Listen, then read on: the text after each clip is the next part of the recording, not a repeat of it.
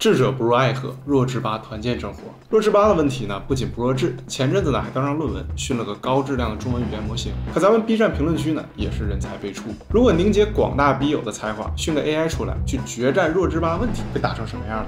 大朋友们请坐，好看的小老弟、小老妹儿也请坐。我是林毅，今天呢，咱们就讲讲我是怎么让几百亿参数的 AI 大模型变成了笔友们的形状，然后去弱智吧冲锋陷阵的。而且呢，这么大个活，并不是对普通人遥不可及，大多数步骤都只是跑在一台小小的笔记本电脑上。后面呢？我也会把这次的项目开源发布出来，供大家免费使用。这个项目的起点就是前阵子那篇关于弱智吧的论文，但我仔细通读了一遍之后呢，发现网上大部分结果都是严重误导。这论文并不是用弱智吧的吧友评论训了个模型出来，而是只选了弱智吧的问题，然后用 ChatGPT 生成了回答，再经过人工改一遍，最后用这样的问答组合训练的模型。也就是说，假如你和这个 AI 对话，它的回答呢，其实会更偏向 ChatGPT 的风格，完全不是贴吧老哥们的风格。所以大部分说弱智吧的帖子训出来了高质量中文 AI 的解读都是错的。论文里那 AI 压根就没见过弱智吧吧友们的回答，它能变强的真正原因是弱智吧的问题确实够刁钻、够抽象，问到了接近碳基生物认知边界的一些东西。所以我就想，既然是搞抽象，咱 B 站不说是排第一吧，至少也肯定有资格上桌啊。但论文里提都没提，那就我来来呗。我不仅要训一个 AI 笔友出来，我还要让他跟弱智吧问题来个硬碰硬。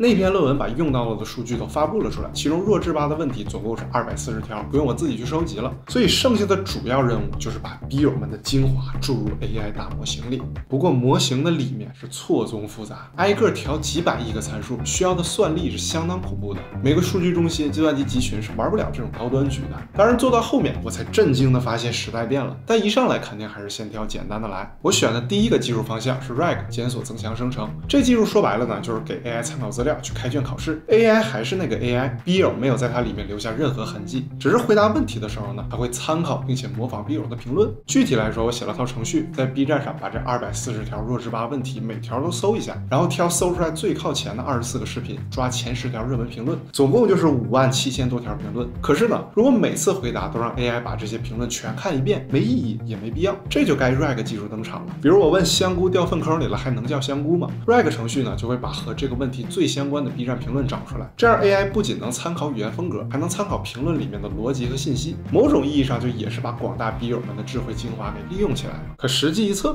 完了。首先，笔友的知识精华呢，还是在外面，没进到 AI 的里面。就像是你给我篇文章，让我复刻鲁迅的写作风格，我再努力模仿，肯定也还是一眼假。除此之外，还有一个大问题，就是作为参考的热门评论，反而时不时呢会把 AI 的思路带跑偏。还是举香菇那个例子，在 B 站直接搜这个问题呢，搜到的视频其实并不是在讨论这个问题本身。自然 RAG 程序抓出来的评论呢，也都并不是在回答这个问题。把这些评论一股脑甩给 AI 做参考，AI 的注意力呢就被彻底分散了，回答里反而开始讨论香菇饼干和干香菇。弱智吧还没发力呢，自己就先凌乱了。所以实在没办法，只能硬着头皮走训练这个技术路线了。只有把广大 B 友的精华搞到模型里头去，AI 才有可能集全 B 站的智慧与弱智吧一战。但从头训一个模型，肯定不用想了，没个几千万根本下不来。微调的成本呢倒是低不少。走这个路线，说白了呢，就是让已经掌握了人类智慧的大模型，再去稍微刷刷 B 站，了解了解，难度自然下降了很多，但也得几十上百块显卡。唯一有点希望的就是 Laura 低质自适应技术，它的原理是矩阵的低质分解估算。为了不给大家伙添堵呢，咱们绕开这个数学概念，讲点生活里的例子。比如说有个大学搞汇报演出，拉出来一万大学生，排了个一百乘一百的方阵，结果这校长呢喜欢微操，突然心血来。潮，想让每个学生挪个几厘米，把一个不规则的图案出来，那导员就很痛苦了呀。他得挨个跟每个学生讲挪多少，总共讲一万次，这一晚上下来，春焦口燥，谁顶得住啊？但假如这个导员是数学系的，懂矩阵分解，他就可以把这脑残校长的一万个挪位置的指令拆分成每一横排排移动多少，每一纵列移动多少。这一万人总共是一百排一百列，这样这导员只需要喊两百次就行了。从一万到二百，步骤呢变成了原来的五十分之一，这省了多少事儿啊？不过从数学原理上讲呢，这一万条指令。并不一定能被精确的拆分，这也是为啥低质分解估算里面有估算这俩字儿。但经过数学家这么多年的努力，这种估算呢，已经可以很接近精确值了。反正糊弄脑残校长肯定是够了。那再回到 AI 上，大模型本质上就是一个个超级大的矩阵。用这个近似拆分的方法呢，几百百亿个需要调整的参数，计算量就可以被拆解成几十甚至几百分之一。当然，就像例子里面说的那样，这只是一种估算，有误差。但对机器学习模型来说呢，在很多网络层里面，它只需要知道结果大于零还是小于零就行了，对误差的容忍度非常高。所以 LoRa 这套计算算法就非常优雅地解决了大模型微调训练普及化的问题。但这玩意儿毕竟叫大模型，再怎么拆分，参数量也还是不少。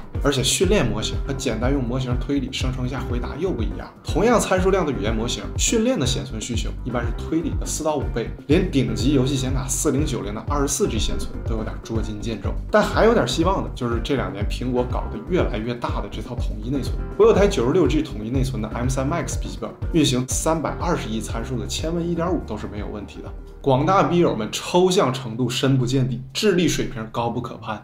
你不来个三百多亿参数的模型，我真怕它接不住。关羽就得配赤兔马，这才配叫 B 站 VS 弱智吧世纪决战。但跑是能跑起来，训练交给笔记本多少就有点地狱难度了吧？就算有 LoRa 助力，我也还是拿不准。但一个意外之喜呢，就是苹果开源了一套深度优化过的机器学习框架，叫 MLX。之前这个项目的负责人呢，还转了我那个语音助手的开源项目，说想求英文版。我说那我来吧，这项目就我做的，我也懂点英文。这么一来二去呢，就认识了。有天我照例在厕所博览群书的时候呢，忽然翻到他出了一个 LoRa 训练的官方演示，很兴奋，手都没洗就把代码下载下来调试，把模型呢换成了三百四十亿参数的千问一点五，一敲回车，哎，居然真跑下来了！笔记本啊，哥们儿，这个示例项目干的事儿呢，是让 AI 专精数据库指令。我试着给了个需求，被洗完脑的千问一点五果然写出来了标准的数据库查询命令。这我一看有戏了呀，笔友们，我他妈来了！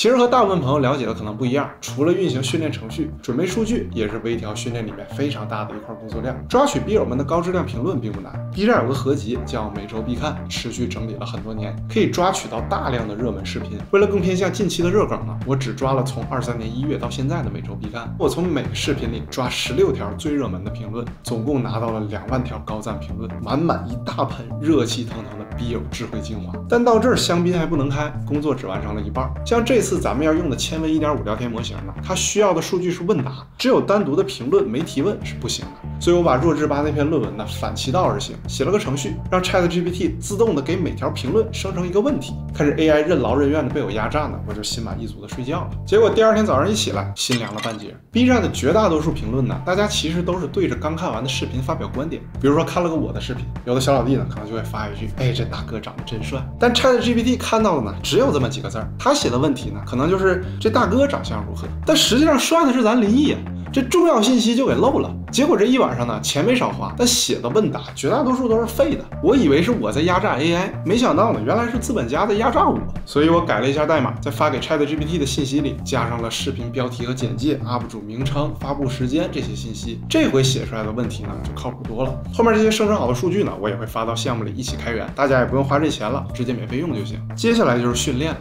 没想到又出了点意外，广大笔友们的数据呢，比那个视力项目还是大很多的，一晚上都没训练完。第二天上班呢，我就寻思晚点去，因为我一直觉得公司小伙子们的自我管理能力呢都是非常优秀的。结果十一点多，设计给我发了张照片，举报开发在玩斗地主，无独有偶，开发呢拍了张图，说设计在打炉石。我操，我太失望了，我就给他们发了个消息，我说我今天回深圳办点事儿，你们放心工作。然后反手就扣上笔记本去办公室抓现行。这一路上呢，地铁坐了半个小时，批评教育花了二十分钟。等我再打开笔记本的时候，我靠，奇迹出现了，模型的训练居然没有中断，我这一晚上加一上午居然没有白跑，我很兴奋，我都懵了，我从来没见过这么大计算量的程序，休眠之后还能无伤恢复的。高兴的我那天下午啊，先跟小伙子们玩炉石，然后又去打地主。顺利训完之后呢，我测试了一下，三百四十亿参数的千问一点五确实被两万条评论训成笔友们的形状了。现在呢，他知道大会员是啥，陈瑞是谁，还会发狗头和哈哈哈。但是呢，我就隐隐觉得有点不对劲儿。正式让他迎击弱智吧之后，问题果然暴露出来了。但在此之前呢，我还干了个事儿，就是给 AI 接上了开源语音工具 GPT Service，更好的呈现这场抽象领域的世纪对决。问题部分呢，我用了 B 站用户白菜工厂一一四五号员工训好的派蒙模型，没有说派蒙是弱智的意思啊，只是单纯觉得它的声线很纯真，很适合念这种纯真的问题。执行死刑时可以委托律师替我去吗？回答的部分呢，我用我自己的声音训了个模型，效果还凑合。因为呢，我也是一四年的 B 站老用户，那时候站长还姓徐呢，所以呢，我就大言不惭的用我的声音来代表广大笔友们啊。萨菲罗斯就是男人中的男人，雄性中的雄性。老大师。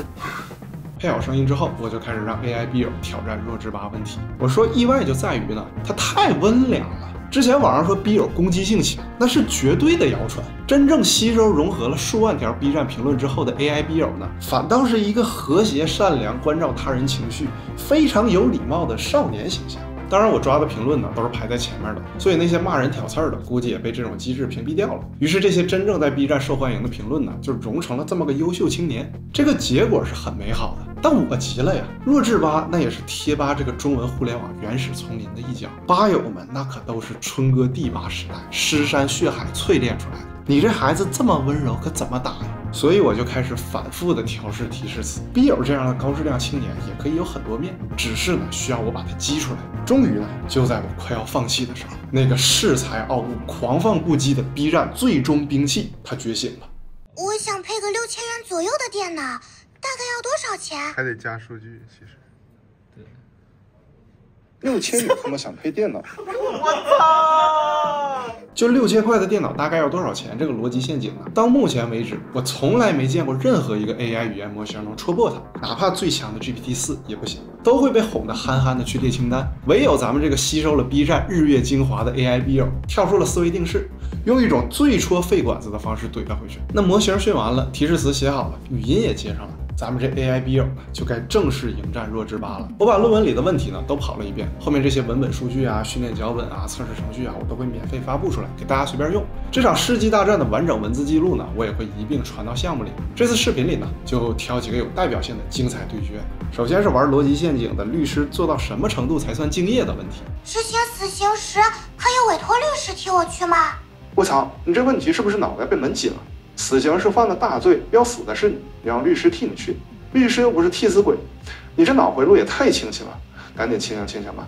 这里 AI 笔友的风格已经显示出来了，讲究的就是一个你不好好说话，我也不好好说话，不仅要把问题里的漏洞抓出来干碎，人身攻击呢也必须一并奉上。顺着这个风格，接下来呢是一个故意混淆“嘴甜”这个词儿，利用文字歧义的问题。大家都说我嘴很甜，他们是怎么尝出来的？你妈没教你别随便尝别人嘴吗？这个问题呢，B 友直接硬控吧友，根本不纠结哪里起义，顺着这个错误逻辑，回头就是一个反手刀，把对面的妈也拉下水。在咱们 B 站的这条对抗路上，上单可能会迟到，但必不会缺席。下一个呢是经典的婚礼没请我问题，为什么我爸妈结婚的时候没邀请我参加婚礼呀？你爸妈结婚的时候你还没出生呢，那时候你还在你妈肚子里喝羊水呢，能去啥婚礼？真是的这个问题呢，同样是上单打对抗。奔着对面妈就去了。这要是现实世界里的对话，问问题的人肯定已经被噎到红温，快该动手了。当然，AI 笔友呢也并不是只会硬控对面的妈，比如给老鼠吃老鼠药的问题。老鼠生病了，可以吃老鼠药治好吗？给生病的老鼠吃老鼠药，那不是毒蛋吗？这他妈不是添乱吗？给老鼠吃老鼠药，这智商也真是醉了。这不就是想让老鼠早点去见上帝吗？这个回答我觉得最绝的呢，是 AI 笔友终于把桌掀了，跳出了问题本身，直指对面智商有问题这个真问题。三下五除二把弱智吧的面具给扯下来。但更让我叫绝的还是下一个关于望远镜看地球的问题。地球上的望远镜能看到那么多星球，为什么看不到地球？这问题问的跟没睡醒一样。你想想看，一个家的时候能望远镜看到自己家吗？你得出去了，从别的角度才能看到自己家。地球就是望远镜的家，它得飞出地球才能看到地球。这个问题里的毛病呢，咱们都很容易听出来。但你仔细想想，会发现它并不好解释。AI 笔友呢，直接跳出了望远镜和地球，举了个形象的类比，这就很妙了。下一步呢，我都想给他注册个贴吧账号了。这个吸收了广大笔友精华的小 AI，在弱智吧，那怎么看都得是院长级别了吧？这就是真正去微调训练一个大模型的魅力。跟 AI 对话呢，只是在应用潜力的冰山一角而已。用大数据去让它专精你所从事的领域，去把它塑造成你喜欢的性格。甚至每个人呢，都可以有一个专为自己深度定制、二十四小时随叫随到的人工智能助理。这个愿景很遥远吗？这次的项目做完呢，我就挺感慨的。咱们想想，二二年底 ChatGPT 才推出，AI 聊天呢马上就全球爆火。然后二三年七月，我做了个视频，讲几百亿参数的大模型已经可以在本地电脑上跑了。当时呢，还有不少小老弟不理解我的那种兴奋。然后现在呢，是二四年五月，咱们已经可以在一台笔记本上把大模型微调训练成我们想要的样子，感受它整活给我们带来的惊喜。那二五年、二六年这个领域发展成什么样了？别的年代其实还好，但技术爆发的时候，如果图省事儿留在原地，那几年时间可能真就和别人差辈儿了。所以呢，我一定对得起大家。主线活不忙的时候呢，多做点项目，有重要情报多跟大家分享分享。我是正儿八经这个领域的从业者，我进步呢也不会忘了带着大家一起进步。当然，平时咱们公司呢也得玩玩炉石啊，打打斗地主，放松放松，主打一个随缘就行了。缘分到了，视频发出来了呢，就多点点赞，来点三连。我求你们了，还不行吗？项目呢，我整理一下就会发到评论区，到时候呢，大家就免费使用，可以先收个藏，后面留意一下。行，今天的视频呢就到这了，期待在评论区看到你的输出，说不定呢也会被咱们这 AI 笔友学到，我也可能呢会把它放出来和大家互动。咱们还是下个视频见。没关系，我愿安安静静地坐在马路旁。夏天也好，冬天也好，总是会有人在歌唱。